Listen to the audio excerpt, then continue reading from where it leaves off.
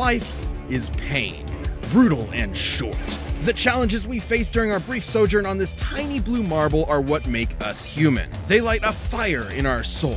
They make it all worth something. Without them, we are lost. Yeah, it's a little early in the day for an existential crisis, but luckily I came prepared. For this failed salaryman, all it took to get that fiery passion back was to save this butt chin child from a crab monster in underwear.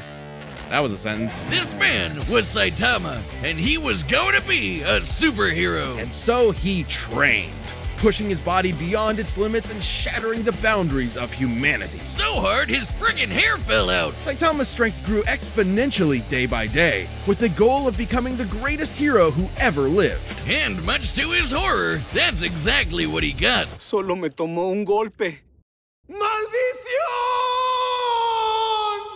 Became too strong. He became the one, the only, the infamous Caped Baldy. But anyone who's cool knows him as One Punch Man, as in he can't help but beat almost every opponent he's faced in exactly one punch.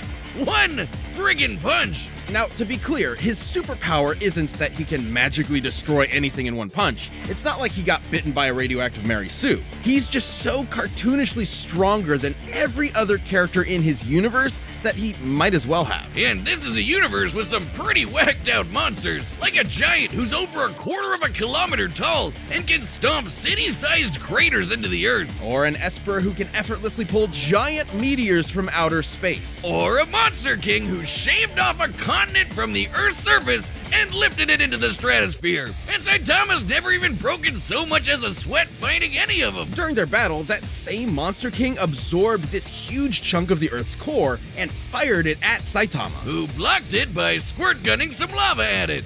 The lava he was bathing in, naked. And then he punched him.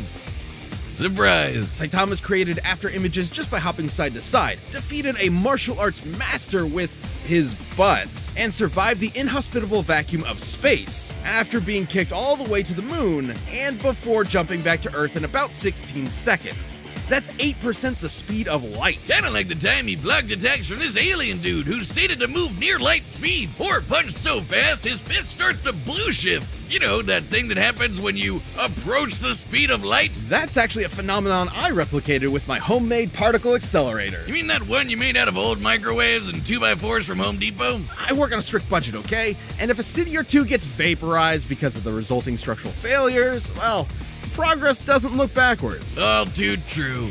Well, while Wiz and I pretend that that never happened, come back in a few days as we cover Saitama's opponent, Popeye the Sailor Man.